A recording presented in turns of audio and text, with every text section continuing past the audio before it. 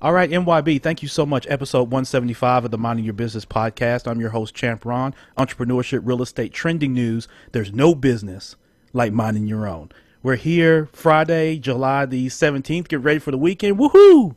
Hope you I'm ready. Great week. Yeah, our guest is ready. So hopefully you are too, MYB. Um, if you're ready for the weekend, hopefully you don't just live for the weekend. You had a tremendous week. And if your week didn't go the way that you set out for it to, just know that if you keep going and stay in it, uh, great things happen to those who hustle. Okay? Subscribe, five star, five star, wherever you get your pods. That helps us continue to expand the reach of this podcast. And as always, you can go to themybpodcast.com uh, to get more content and listen to any of the episodes of the Minding Your Business podcast. Listen, I'm excited. Um, today's guest Chala Dincoy, who is the CEO and founder of the Repositioning Expert. Uh, she has been uh, routinely on ABC, NBC, CBS, Fox, any other network you could probably come up with. Um, all of them. Yeah, just say every one of them. Just right? say all. Yeah, just uh, yeah, just all media. If it's been on, Chala's been on it. Um, but I've been able to to you know research and see a lot of her content. She's got a great YouTube channel, uh, so make sure you go check that out. Um, but someone I can see is definitely uh, a respected voice um, in small business. And so, Charlotte, thank you so much for taking time out on a busy Friday. My pleasure. I'm so happy. And I'm glad that you're not one of those podcast hosts that, you know, like vet people and they're like, no, yes, no, no, yes. You're like, you were so cool about everything. Yeah. Just liked it and went, gone. Let's do it. Oh, I'm a glutton for punishment, so I bring it all. bring it on, Mister. I, I bring, bring, it, on. on. So yeah, I accept it all. So awesome. Chala, let's jump right in because mm-hmm. for those that don't know you, um, let's get a sense of your background and, and that sort of thing. So share with us who you are and how you got to where where you are today. Well, I'm going to start with my elevator pitch because I'm an elevator pitch coach. So there you go. Let's do it. And this is for all the small businesses listening out there and watching us. Three yeah. out of four small businesses never get asked for their business card or an appointment when they do wow. their elevator pitch to a prospect. What I do is I fix what they're saying, what's coming out of their mouth, so that every hello turns into a meeting. Okay. That's Let's it. Do it. Let's do it. See? And then when I'm introducing people, they go, Can I have your card? And they go, I did it. You know, because like that's the elevator pitch. Anyway. Yeah. So like they're like, Oh my God, you really it did it worked. And they like anyway yeah it's really it, it's cool and that's what i want for everyone who's listening. Yes absolutely. So you know, what makes the elevator pitch so important? Let's let's jump in right there. What makes that so important for small business owners? Because you know as someone that networks a lot and a lot of people listening to this network a lot mm-hmm. and they you know you, you, know myb you may can relate to this. You find yourself you know sharing things you know people are maybe half listening you know maybe you're not getting the results you're collecting a bunch of cards and then you're making calls and you're not getting people on the phone and they're not returning emails and and you're yeah. pulling your hair out. I can't do that but some of you are pulling your hair out. I would be pulling yeah you could pull your hair out. Mine's already been pulled out. I got three kids. They're all pulling. Yeah each all three of them and then my wife they all pull it out so it's gone. I had an afro before i started this the podcast. visual the visual that's beautiful so, yeah, well, what makes it so important? Uh, all right. So uh, after all that visual, I have to paint another visual. Is that 86% of buyers can't tell the difference between two suppliers. So you are the the worst sin of having a bad elevator pitch is that you're blending in with everybody else. And when you mm-hmm. when you blend in with everybody else, people have a short attention span already and i even wrote a book called how to make anyone like you in seven seconds or less yeah. and it really it truly ta- that is how fast i mean that's based on research that's how yeah. fast it is people are going to just they look at you and they, they decide if you're competent or not and yeah. then within the first you know couple of seconds of opening your mouth they've already decided whether they're engaged or they they go back into their brain into la la land they sure. go and think about their wife or their children or whatever it is. So the the key is and here is like the crux of going on a first date or going networking i don't care meeting your yeah. mother-in-law for the first time is to talk about what they care about. Right. That's it. Talk about them. Stop. No don't talk about yourself. In the book when i researched people uh, would rather talk about themselves more than if they were offered um, food or money. Wow. and it yeah and if, if i can remember the statistic there's something like the amount of dopamine that's um, released in the brain when you talk about yourself is equal to like 10 pounds of chocolate eating Oh, wow. 10 pounds of chocolate yeah so it's Good grief. crazy yeah so listen it's all about them Yeah.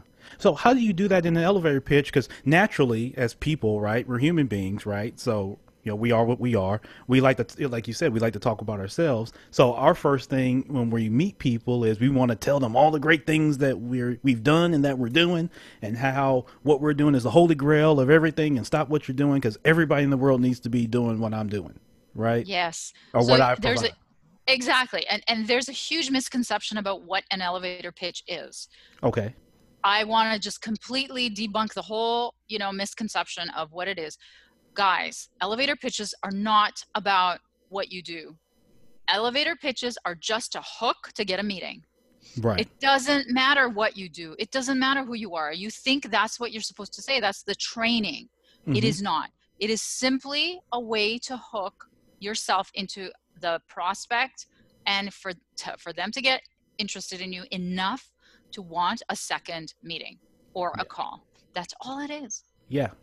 And so uh, let's do this. So, you know, I'm, you know, everybody knows I'm in bank consulting. Um, and, you know, so I transitioned from the banking, you know, kind of world directly as a banker to now working with C Suite. And I help them find investment opportunities in low to moderate income communities. So, with that, y'all, you know, how would you help me frame, you know, my elevator pitch? Right? Okay. Because So the here- I'm in a room full of bankers Okay. Right. and I'm on an elevator, and you know, of course, you know that's a bad joke, right? A bunch of bankers get an elevator. that's the beginning of a good joke or a bad, Bad joke, joke, either yeah. one.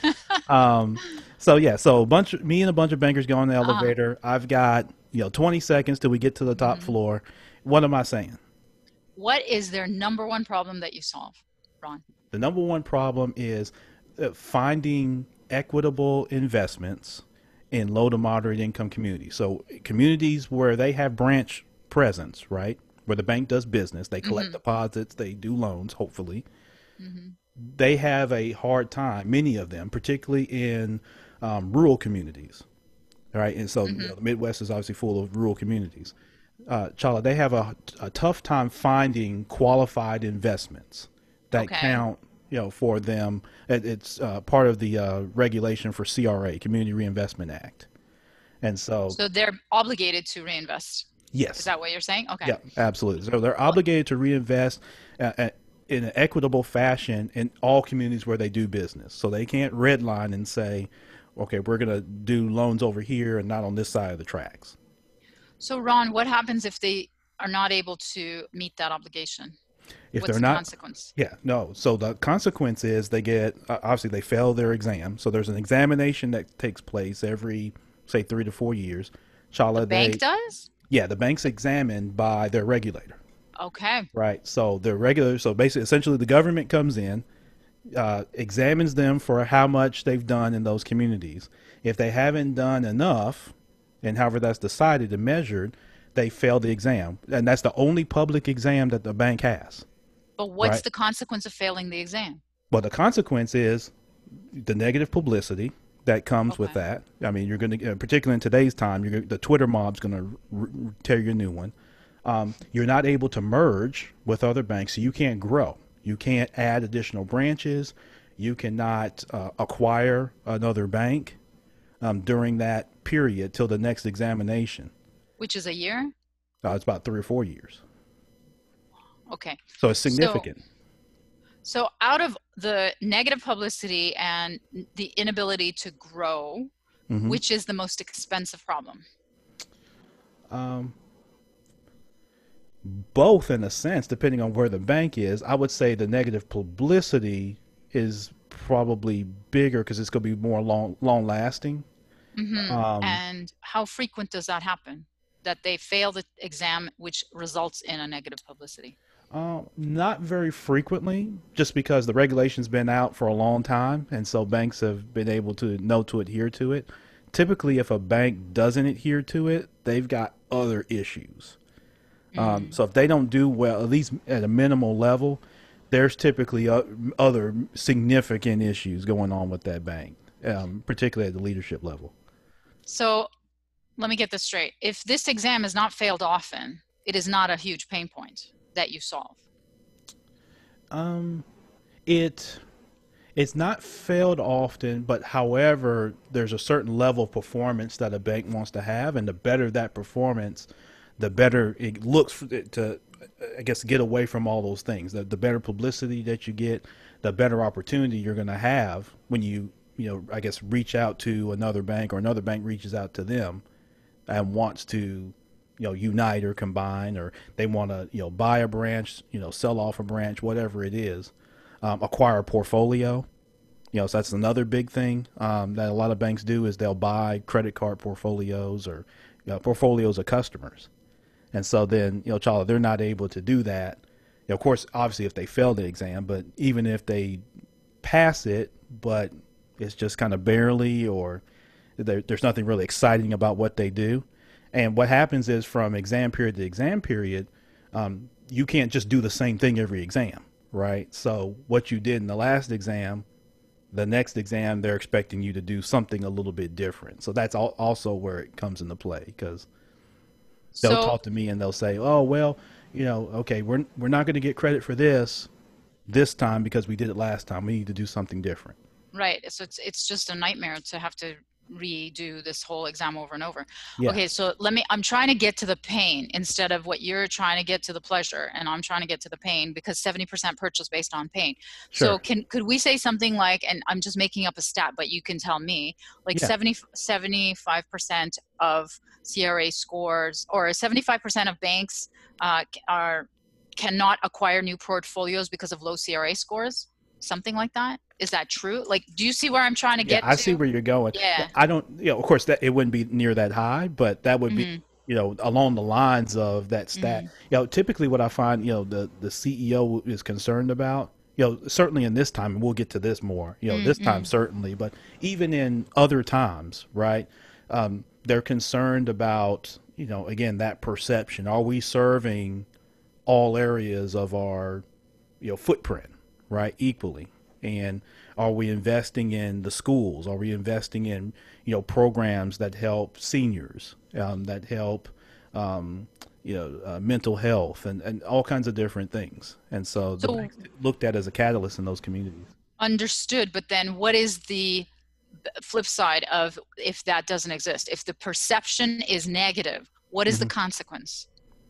If, if the, per- perception, so fine, they haven't failed, but they're just not doing enough. Right. So the per- yeah, the perception becomes then you can well, or the, the actual pain point then I see yeah consequence yeah the, the, consequence is you lose deposits you lose loans right to your Do competition you? yeah oh yeah because okay, so it, it, gets reported out that hey they're not investing as much as they should mm-hmm. right based on their examination or they, they're you know they're kind of concentrated in one area they're not really spread out but then the competitor down the street is right? And so right. now you can lose you know in a very kind of homogenous competitive landscape you can easily lose you know bank customers you know just across the street. Because of perception okay. Yeah.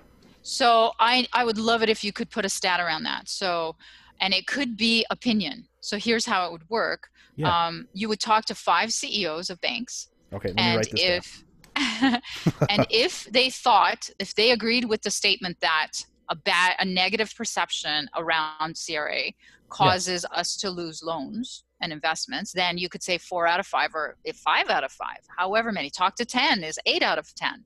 So yeah. you know what I mean? Like, so you make up your own stat and then you could source it as anecdotal. Sure. That's it. Yeah. So that's your, that's your pitch. So my pitch would be, "Hi, I'm Ron Brooks. Hey, did you know that eight out of ten CEOs that I talk to are, you know, are either yep. concerned or, yep. um, yeah, feel that they've lost loans because of negative perceptions surrounding their CRA or surrounding their equitable investments in urban communities. Yeah. And what I do is I help fix that by um, funneling them, you know, more than adequate number of yeah, connecting Qual- them to those resources, right? To qualified yeah. qualified investments. Yeah. yeah. There you go. So Ta-da! that's short and sweet. Look at that. Yeah. Hey, look, and I was writing that it, down. Good, but uh, well, you have the recording. But Yeah. so it's like we've we've come, Yeah, I know you of forgot course. you were recording. Yeah, you get the recording, dumbass. Are we on my show? Like this is what I do on my show, by the way, and I love it. I love it. I'm gonna repurpose this. Yeah, Yeah. So like so different than what you said, which is honestly it is the same thing, but Mhm. it's it's it's changed it because it's all about the pain. Right. And if that if that guy's a bank CEO and he's on the bubble with his perception issues, he's gonna be like right on you. Yeah. He'll be like, "Can I have a card?" Yes, absolutely. yeah and, the- and and I've said that before too. That you know, um, people make moves just in general, personally or professionally, with that little stick in the side, right? It's that little Yeah. prick that kind of gets you uncomfortable, that little bit of pain that makes you, Yeah. you know, make you you make a move, right? Because otherwise, you sit in the chair, you're comfortable, right? Yeah. But if something's pricking you a little bit, you get up and you Yeah. say, "Yo, what is that?" And when you talk about their pain, and especially with a statistic like that, they understand that you understand their world. They they know that you can help them.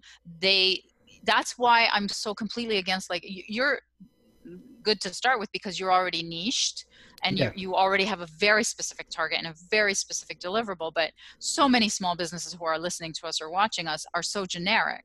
Yeah. You know, And, you I know s- how I was generic? You know, I would I would focus in on my experience, right? So I say, Mm-hmm. "Hey, I'm Ron Brooks. Hey, I've been in I'm a 17-year banker, blah blah Mm-hmm. blah." But, you know, and I think that's unique, right? But then like you said, I mean, how many other 17-year or more bankers? You know, someone else yeah, comes and says, that "I'm a 25-year banker." Yeah, you know, and it, you know what I mean? And, it doesn't The, yeah, the biggest problem with that is that it's about you. Yeah. So anytime your elevator pitch or any messaging is about you, like I train on sales emails that stink. You know, I, I train on I like every kind of messaging. Like seriously, because it's it's not about you. Nobody cares. The yeah. sweetest word in the English language to anybody in any language is their name. Yeah. Mm. Yep, I love Carnegie. that. That one's Dale Carnegie. I can't Is steal that. Okay, you got you, you're giving proper credit for that. well, th- thank you, Chala, though, for that. You're because welcome. And, and MYB, I hope that this helps this exercise. Um, Because again, we all want to be better, so be open to um, that coaching and development, even on the fly like this. We're doing this Yeah. live here with Chala, so I appreciate it.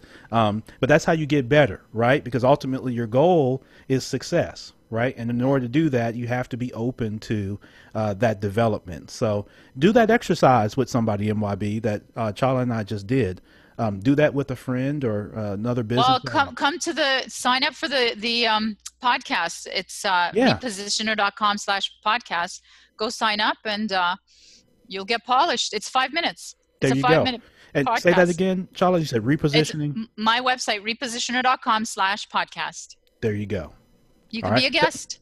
And look in the show notes because that's the link. Go ahead and click on that. Um, continue to listen to this, but uh, get uh, click there and go ahead and uh, you know get that resource. Um, that's a free resource that Chala's offering, and um, I expect all Uh, of you to. There's a $49 Oh. fee. oh no no no, forty nine dollars, close to free. That was close enough. Yeah, it's, close. it's just for our production stuff. Of Production course. costs. well, Yeah, we're talking business. Okay. Yeah. Yo, so my bad. Forty nine dollars. All right, that's that's Yeah. close enough. But the boot camp is free, which Okay. we're going to talk about. Yeah. Yeah, we'll get into the uh, boot camp for sure. But again, um, go to the website that Chala just mentioned. It's going to be in the show notes. Repositioner.com. Repositioner.com Um, slash uh, podcast. podcast. Yeah, excellent. So yeah, so go there, MYB, forty nine dollars. That's yeah, it's a drop in the bucket Yeah. to, for that investment. I mean, Awesome. if you're in business and you're not investing forty nine dollars into yourself, what are you in business for? Right? You're gonna And, spend and more it's than that. like the the first thing that people find out about you.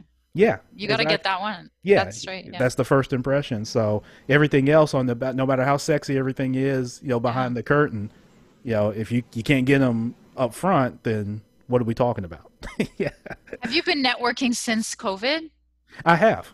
on I have. like Zoom, Not- right? Yeah, mostly Zoom. Um, there have Yeah. been virtual conference. Now a lot of the banking conferences were canceled, but a lot more of the business ones have been you know virtual. Yeah. Um, so yeah, so I've continued to to do that. You know what's been cool with that, Charlotte, is you know people are learning how to do like the breakout rooms and all that. yes, I was just gonna say that. Yeah. Yeah, and so that's been really cool. Um, Yeah. I haven't personally tried to do that yet. Um, okay. Because I tend to do a lot more kind of one-on-one know, type deals. But no, that was really cool. Uh, some of the ones I've been to where they've tried to engage in smaller groups and then bring back Yeah. larger groups. But that's the thing, yeah. So that like the ones that I'm in, what they're doing is they're putting a timer on it. Yeah. Have you seen it? I have. And then like and then there's five people and they have to do their elevator pitch. And then when people are saying, "Oh, you know, like I've been in business for 15 years," they start talking about where they're from or they start talking about, you know, like a laundry list of everything they do in every single industry they've ever worked in. And then uh, other people talking about their children. Like it's just and then it shuts down like you have no say about the clock when it's off it's off and you've taken up everybody else's time talking about all the things that don't matter you haven't connected and then boom you're shot into another breakout room and you have to do it all over again and then yeah. boom you're shot into another one and again it's just it's insane so you were asking me how you know about the covid world like how important is it to get your elevator pitch right it's more important than ever yeah Absolutely. like Yeah, let's get into that because obviously, Yeah. you know, January 1st, if either of us could have known that, hey, you know what, I need to prepare in case there's a worldwide pandemic, um, you know, we would look crazy, right? And then fast forward, I was at my last conference I attended down in Orlando, Florida, um, an ICBA conference, which is a banking uh, association conference. Down in Orlando, they were telling us to, you know, the, basically the fist bump and wash your hands and use hand sanitizer, all that type of really? you went like in person? Yeah, it was in person. Wow was, um, how many people were there? Oh God, there was you know a couple thousand, right? they Uh, went i thought nobody would go Well, this is right before you know the crap storm, right? So oh you know, um, this was like March seventh through the. oh it's just or something like before just before yeah, like You're so, like so- we were. Everybody was you know getting on planes with Clorox wipes, wiping it Mm-hmm. down, and you know giving dirty stares to anybody that coughed and all that type of stuff on the plane, right? But it wasn't the big you know thing the is now. Yeah, and the mask and all that wasn't there yet. This was just, you know, and I had been in Michigan, you know, Charlotte, at a conference um, up in Traverse City, so I was all the way up north, and then Gee. like two days later, I was down in Orlando, and Mm. so you know, get to Orlando, no handshaking, no none of that stuff. Everybody's just fist bumping, but we're still all hugging and you know doing everything else. We're all in. I mean, we did everything Sure. except shake hands, right? Oh I get God. home on the night of March the 11th, and then somewhere around the 12th or the 13th, everything just goes to hell, right? the stay at home yeah Yeah, yeah. They send Oh, everybody God. home, and then it's just snowballs from there. Um, do you think it's ever gonna like come back i don't think s like i don't see anybody going to thousands of people conferences anymore in the next year not in the next year. No, I think Yeah. it eventually does come back. I mean, eventually, because this is all risk assessment, right? It's all risk management, Sure. Right? It's the it's the ever American deal of managing health, uh, managing mortality, and managing economics, right? And all those things are getting swirled in, sure and people are making those decisions. Matter of fact, what's funny is um, I'm scheduled to go to a conference, an Illinois conference, Chala, in Indianapolis in September of this year. wow Um, now, there's not going to be thousands of people there, that's what i was thinking yeah but you know, there's going to be people there that are, I got, I'm so tired of being around my family, I got to get away.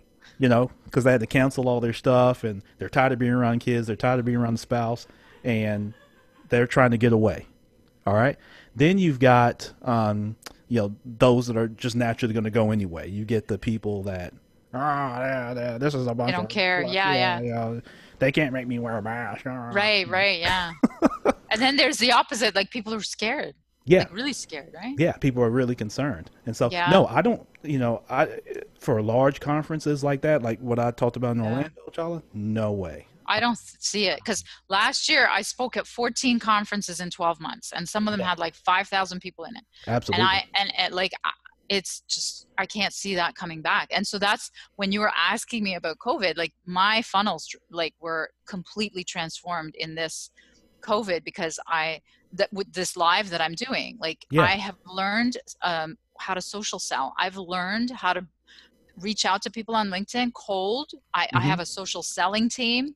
They are getting them onto consult calls. They're filling my, you know, um, the boot camp, and then I'm selling them just like how I used to sell from the stage, but now it's through the camera on, you know, on through my phone or on Zoom. yeah So it's been, and if I get this right, this is the future because, and there's no reason because I'm learning every time I do it, but um, it's phenomenal. I'll never have to get on a plane and I'll be, I'll be scaling so fast doing this because it, all it is is rinse and repeat because do you know how many people are on LinkedIn?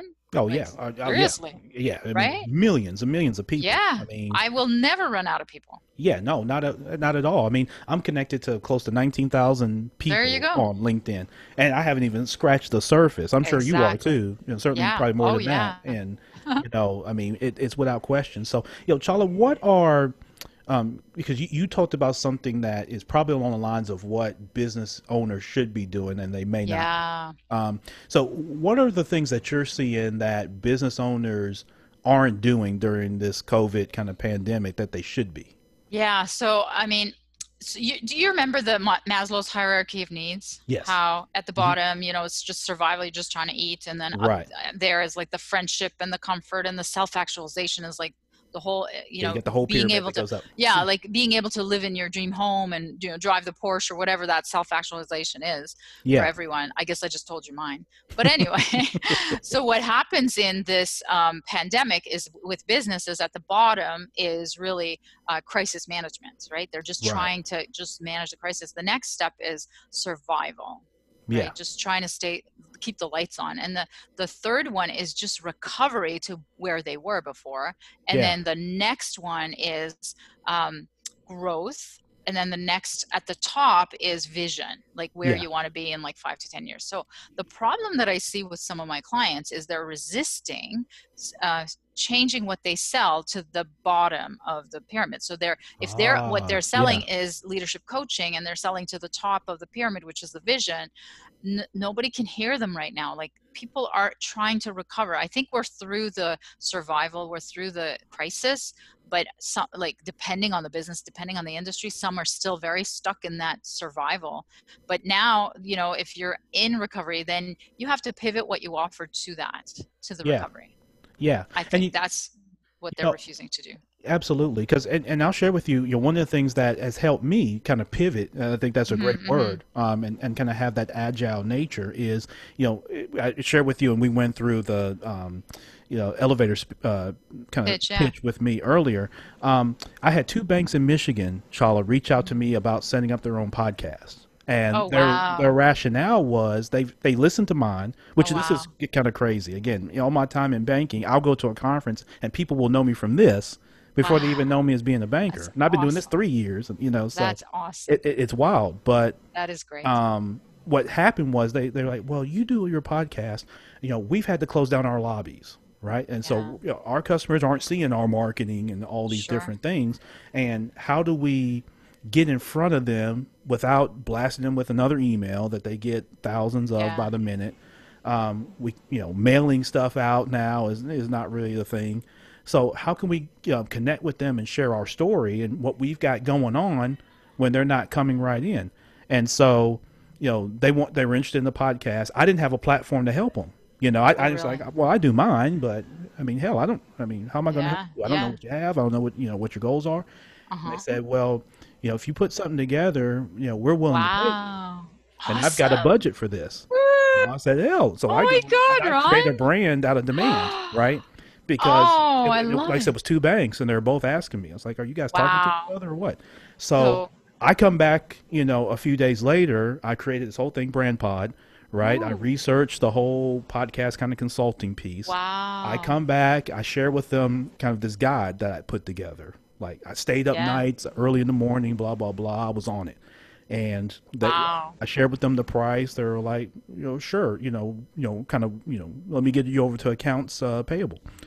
You know, okay, you know, so um, all of a sudden now I'm helping That's awesome. set up podcasts, and we launched the first one last week, the CRA files. Um, Ooh. so I kind of found as an extension of a niche, Mm. as the pandemic hit, and like you mentioned, there was a pain point, yeah right? So they came to me with pain point. Mhm. They felt I would have a solution to that pain.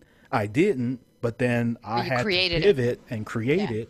And so now um, I started out just kind of helping banks, but then now I'm having kind of individual, you know, somewhat I guess influencers Mm. that are coming and saying, "Hey, you know, I want an extension from social media. You know, I want to be able to have my own podcast. You know, Mhm. how do I do that?"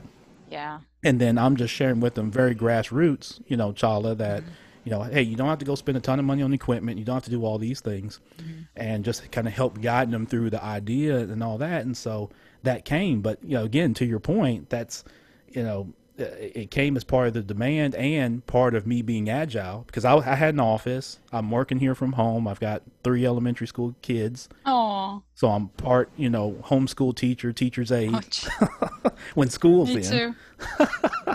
me Yeah. too. Yep, exactly. So, but that's what kind of what happened. And so, to your point, um, That's excellent. Yeah, that's- that's, an excellent super niching story. Yeah. yeah, Um, so many of my clients make additional revenue with their super niche. So, Yeah. like what you do, what you did, but why they hire me is to figure that out and then to Yeah. package it and to right because yeah, if nobody's asking them for it, they don't know what to super niche in and how are they going to throw spaghetti at the wall and say, "Oh, I think I'll do this today or I'll do that today." Some of them try, but yeah, that's what that's what I'm teaching in the boot camp, which is the elevator pitch, um, B2B elevator pitches boot camp, which is that nine day live um, training that I was telling you about, which is free and it's streamed right into um, either Zoom or we're, we're in a Zoom room or and it's streamed live into the Facebook group. yeah, Um, so that's I'm teaching them that an elevator pitch really has to do with one, a, a super niche target and the Yeah. super niche um, problem that you solve, and then when you put those together, that becomes a super niche, and then you can make just incremental money from that, or you can make that you, you just pivot your whole business to that if it's Yeah. if it's you know big enough and uh, deep enough then you could completely change all of your marketing and all your messaging to just do that but a lot of my clients are already multi-million dollar service-based b2b businesses so that what they do is they just sub-brand it just like what you did yeah, and then they're making like one client today she's coming on to do a live testimonial and Yeah. she made 805000 she was an it company and they super niched in healthcare call centers to reduce the wait time wow, and we sub-branded them the on hold rescue yeah, and she made eight hundred and five thousand dollars within the next grief. two months. Yeah, Yeah. like just just like that. yeah. But just by you know following that process, niching, working yeah. with you, yeah, super niche and, and that Just sort of thing. super niching, yeah. Do you find, Chala, that you know? I guess where do businesses get hit the most during this pandemic? Is it they run out of money, right? Or is it they don't know how to navigate the water, so to speak, by leveraging someone like yourself to develop those Yeah. Because you know which one do you see kind of impacts them the most because you know you got all this ppp lending and all this type of stuff and so Yeah, yeah. I was just going to tell you that. So, yeah what's been really interesting is I'm seeing two different kinds of people. It's Yeah. really interesting what this this is doing, uh, like revealing people who they are. And there's the kind of me, right, who had all my funnel just went away, and I had zero guarantees. I had my savings, yeah, but they weren't like three, four years savings, right? right So what and I've never invested more in growing my business without a guaranteed income than I have since the beginning of my business, which was Mm. seven years ago.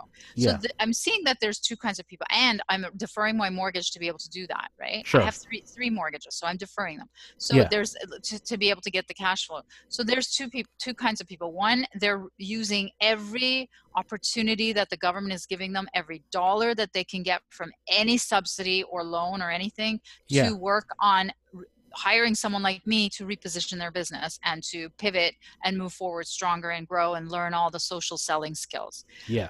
The other is they because they're so scared they're just not going to do it. They're not going to they're not going to do anything. Right now they are holding they're just Yeah. like holding. Holding on. So and i'm so fortunate that there are so many of the other kinds of people that i'm already seeing traction and I already i can see how this is going to scale so easily into multiple seven figures for me. Yeah. Th- that and, and it's almost a blessing. I hate to say this because so many people have died and so many have been hurt and Yeah. displaced and god knows what negative effects we can't see in the future because i have Right. a son who's 11 he's on the spectrum and yeah he's been melting down because he's having zoom calls and uh, you know his school private school is all zoom and he's melting down like Yeah. 24 7 it's the long term effects of this are we can't even know what they are but for in terms of business i think if you're able to reinvest in the business during this time people are willing to forgive more mistakes they're more open to information they're more hungry Yes. for for help so i think if you're if you can invest in yourself and trust that it can grow this is the right time to do it Yeah, definitely. And you talked about going into the future, Chala. Uh, I'd love to Mm. get your take on, you know, of course, none of us have a crystal ball. We don't know when this is going to kind of pass by. But let's just say we get to a point, um, you know, there's this, you know, mass vaccine. You know, of course, at some point, you know, at least the majority of people accept it. Um, there'll always be a, a, a faction of people that maybe won't. But let's just say we get to a point where it tapers down, right? Mhm, Um, you know, what do you see as being um, one of the toughest or hardest things for business owners once we get past this, right? mhm. And we get pa- whatever the new reality is. What are your thoughts on kind of post pandemic? You know what? It's going to be the same as it was before, standing out. hmm It's going to be worse after because there's going to be a lower spend, like a smaller spend pool, and there's going to be more choice. So, Yes. and there's, you know, so you're going to have to get even more clear on your differentiator. And in my mind, the best differentiator is a super niche Yeah. because it's very rare that people like that an IT company is specializing in on hold rescue, you know, like in healthcare to reduce wait times. They Yeah. simply don't have competition. That's how we created the super niche. So Yeah. that's what I mean by differentiating. It, it was always important, but now it's going to be even more important. So Wow. invest in that. Yeah, definitely. Definitely. Um, how do you tell if a business is in a good niche? Right. So, you know, sometimes because I I think, you know, someone may listen to this and they may feel like they're going to go out and now start chasing rabbits. Right. And, you know, that old Russian proverb if you chase two rabbits, you won't catch either one. right. I like that. Um, and so, you know, it's like Rocky. You remember Rocky? yeah, Rocky chasing the chicken. It? right. Yeah, yeah. Yeah. Yeah. A And so rabbit chicken. Yeah, exactly. You know, same thing. You ain't gonna catch the damn thing. You know, either one of them. um, but certainly if you try to chase two, and so you know, I'm, I'm wondering on in your thoughts of when you try to chase two of those, right? Chicken Yeah. or rabbit. Either one. Yeah. You look kind of silly trying to chase them both, but um, is there a, a risk to a business trying to chase a niche, maybe Mhm. where they don't have expe- expertise, in, Yeah. or maybe they don't have resources, Yeah. um, or they haven't, they don't get with someone like you to help them vet the Mm. opportunity. You know, do you see that as a big risk for for business owners? Yes, and it happened to me. I hired a very expensive uh, c- marketing consultant for myself, even though that's what I am a very Yeah. expensive marketing consultant. But I hired one because you can't, you're too close to it, right? Yeah, So what they did, get this, and I, I bought into it even though I know better, and this is my, this is what I do for a living. yeah, She, she sat behind her computer, b- crunched a- bunch of numbers, did a little analysis, did a little Google, and decided that there was an industry, you know, in in my region in Toronto, and it was the food industry. It was going to quadruple in the next three years, and so she decided that I should be niched in there. okay, And it was completely like such a big waste of time. It was such a like it was completely wrong.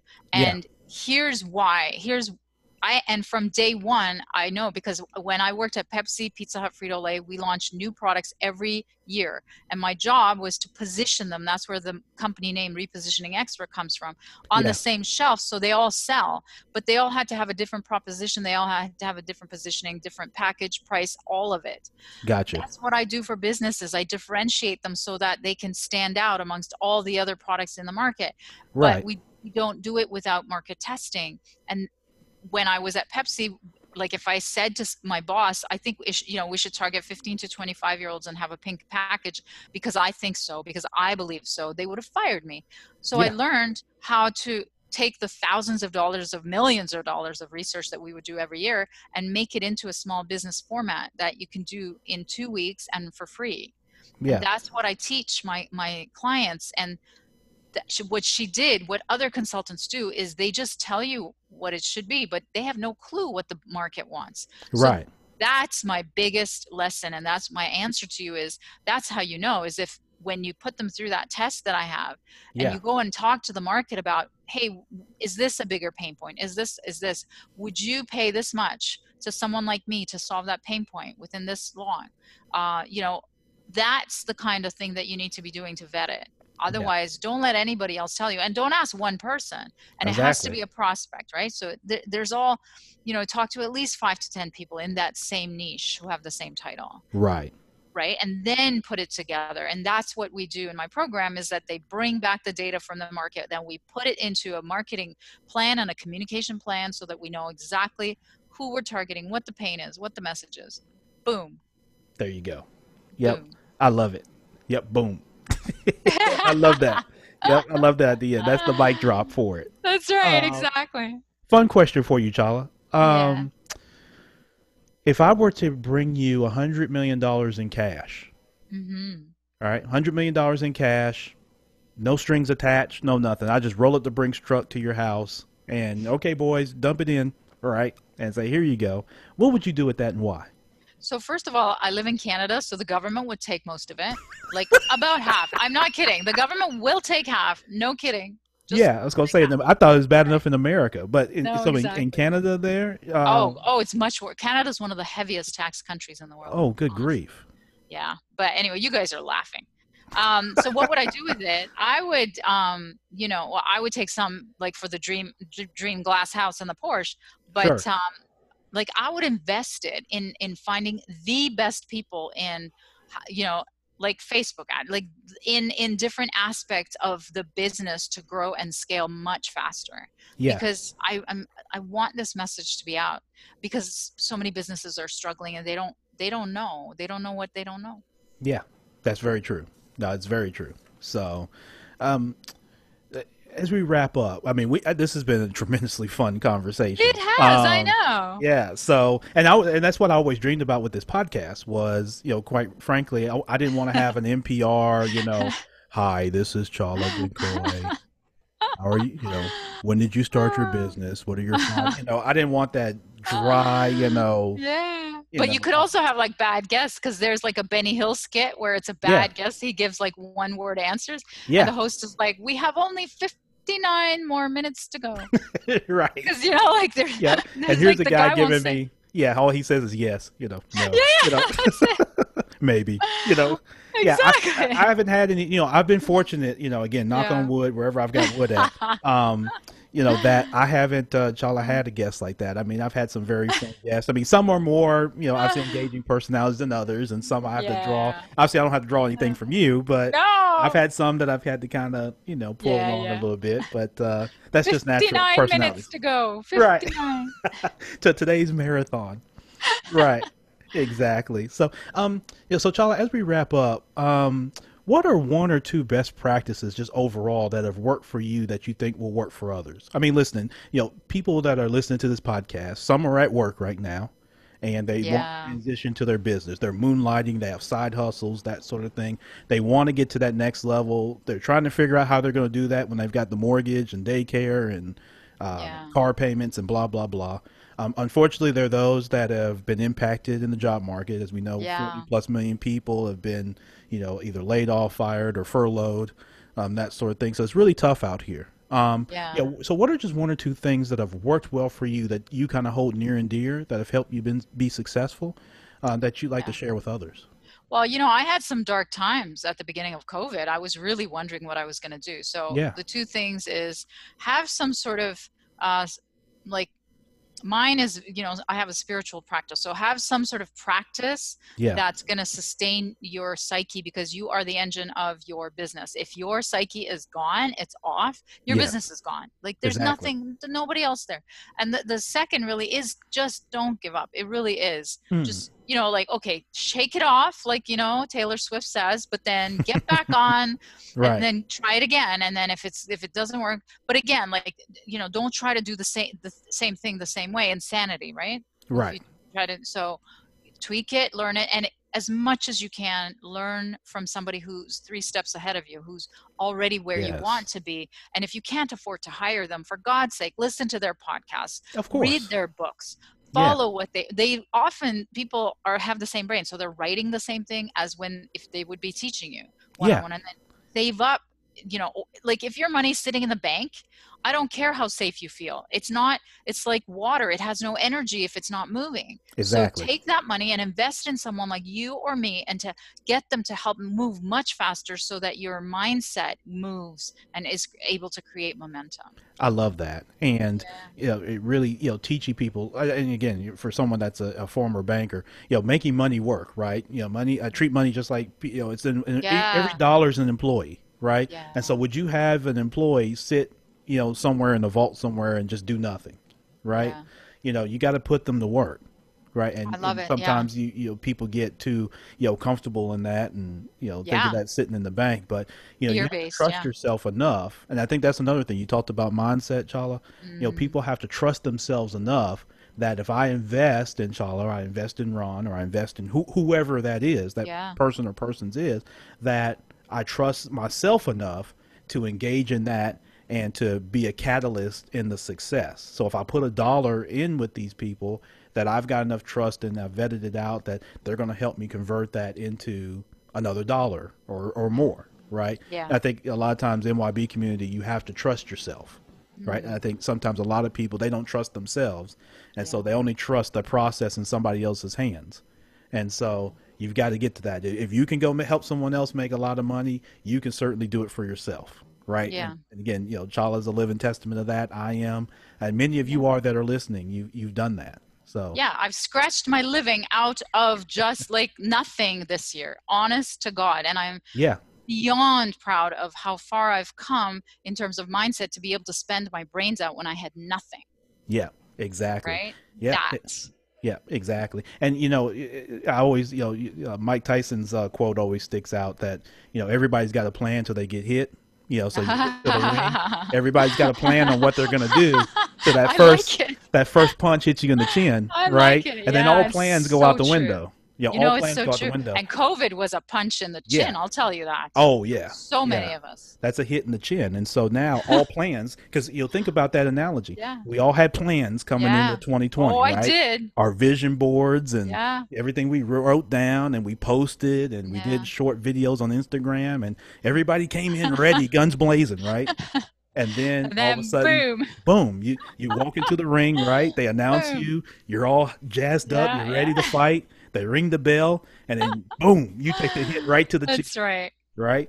And so now, and this is personal and professional. And so Yeah. now, you know, you- you're standing there, you're stunned. Now, some people got knocked out with that first lick, unfortunately, and that's tough. Some businesses, some Mm. People. Yeah. Um, others got knocked down to their knees and stayed there, right? They said, "Oh, wait, I didn't plan for that," right? Yeah. Others Get back up. got knocked down and then stumbled back up. Yes.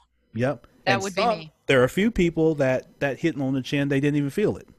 Right? That's great, and there's yeah. a few people there that were just Yeah. like, oh, you know, hey, what what's going on here? Yeah. And so wherever you are, MYB, Yeah. listen to Chala, connect with her. Um, repositioner.com uh, is where you can Yes. go, and repositioner.com backslash podcast. podcast and then Yes. or the boot camp is at you, you guys can still i know this is going to be released um, in a couple of days so Yes. we're still going till tuesday the 21st of july Yes. at uh, 8 p.m eastern so come and check us out at repositioner.com slash bootcamp Yep, absolutely. And make sure you can make that. And then I'm sure Chala's gonna have a ton of other content and opportunities for you, MYB, if you're gonna be if you're tied up through Tuesday. Uh, there on the 21st. No worries because uh, I'm more than confident that Chala's going to have many more opportunities. Oh, yeah. opportunities. and uh, for also you there's connect. replays the, the whole sunday is like a marathon replay so Yeah. you know like star trek marathon yeah Yeah, yeah. My dad's a big be. Star Trek guy. Oh, well, are there you, you are you a go. Trekkie? It, i was married to one and my son is one so that's why it came Ah. out of my mouth Gotcha. that's Gotcha. like that's all they watch right Yeah. so now hopefully uh, it, i'll be like you know i'll be Yeah. like the captain There you go. except it'll be mine my my ship it'll be my ship There you go. Yep. Exactly. All right. Yeah, I grew up a big. Uh, well, I wasn't a, the huge Star Trek fan, but my dad loved it, especially the original series um, with William Shatner and all that. Oh, Oh good grief! I, yeah, I mean, you know, part- and back then you had limitations. We didn't have all this cable and all this, and so when he came home, you know, you know, you had limitations on TV, and TV was his. He's worked all day, Oh. and damn if he's gonna sit and watch Heathcliff, right, or GI Joe, right? He wants to watch the nightly news and he wants to watch Star Trek, and so either you're watching that or you're gonna go read a book or do so something funny else. And oh my god I watched enough episodes of Star Trek by Oh, default. that's so funny Somewhat painful, but you know, some of some of the episodes were funny. Some of them were good. They are. So, It's a legend. Thank you for having me. Oh my god, this was so much fun. yeah, this is fun. Uh, Chala Dincoy is our guest today, uh, CEO and founder of the Repositioning Expert. Yes. Um, so make sure you check her out on all her channels. Everything's going to be in the show notes for you. Very convenient. Just click there. And if you connect with her and her team, let her know that you found her right here on the Minding Your Business yeah, podcast. please do. That would be great. and Absolutely. subscribe to her podcast. Make sure you're, that you're listening. Add that to your rotation, right? Because you want to be able to get this type of content from many different channels, like Chala said. So it helps frame. You know, I can I'm embarrassed to tell you how many podcasts I listen to. Mm. Okay, I'm embarrassed because I, I get in, information and content from a lot of different great. people that That's helps great. form. You That know, it's it's better than you know. If, you know, I love to read, but sitting and reading somebody's 300 page book, right, takes a lot of time versus their you know 30 or, or sure. hour podcast. So. For sure. But Well, listen, Chala, thank, you, so Ron. much. All the best. Take Yes. care. Nice to meet you. yeah, great. I'll talk to you soon, okay? Bye. All right, see you later. All right, so that was Chala Dincoy. Uh, again, president and CEO, founder of the Repositioning Expert. Listen, you want to make sure you go to the reposition, or actually repositioner.com. Um, make sure you go there, connect with uh, uh, Chala on social media, uh, on LinkedIn, uh, again on YouTube, Instagram, Twitter. Uh, that's at uh, Chala underscore Dincoy. That was fun. Um, you can tell that she's got uh, a very good handle on the business. She understands in a very practical, um, you know, way in how to help business owners. I loved her helping me with my uh, uh, elevator pitch. Uh, so that was very fun. So uh, thanks again to Chala Dincoy and her entire team for this uh, great episode. It's always fun to have great uh, episodes. And so, listen, um, again, subscribe five star, five star, wherever you get uh, your pods and at themybpodcast.com. Brand Pod. That's brandyourpod.com. I talked about it some on the podcast. Now's the time to launch your podcast. Uh, shout out to everybody that I've been able to work with so far um, here locally in the Memphis area and uh, uh, beyond in Illinois and in Michigan.